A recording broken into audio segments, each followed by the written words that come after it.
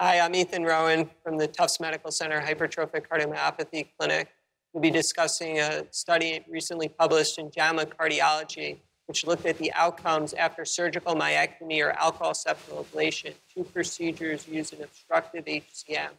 which looked at outcomes using a nationwide inpatient database and clearly demonstrated a huge discrepancy between outcomes in patients undergoing these procedures in an inexperienced centers. When looking at alcohol septal ablation, there was a significant decrease in both procedural morbidity and mortality when comparing outcomes in the top versus the bottom third of centers based on experience, procedural experience.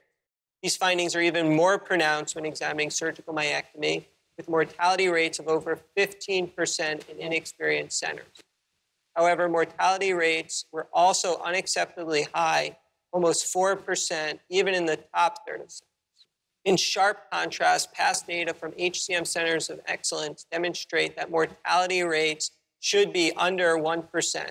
at least four times lower than this top third. This makes a clear case that these procedures should ideally be performed in these centers of excellence, like the Tufts Medical Center, HCM Center, where they are performed at the highest level with a multidisciplinary team of world experts and the lowest morbidity and mortality rates and improved patient outcomes